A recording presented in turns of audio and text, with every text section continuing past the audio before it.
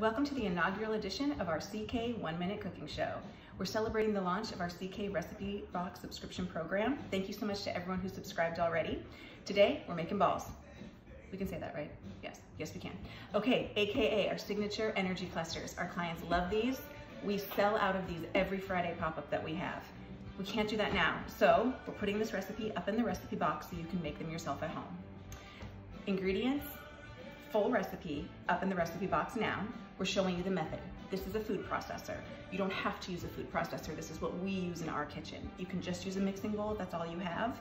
What we're gonna do is we're gonna put the food processor together and we're gonna pulse, okay? We're pulsing, combining all the ingredients to break them down. What's gonna happen is your carob chips are not going to break down. Don't freak out, ours don't either, it's actually better. Dump in a bowl, and roll. Enjoy.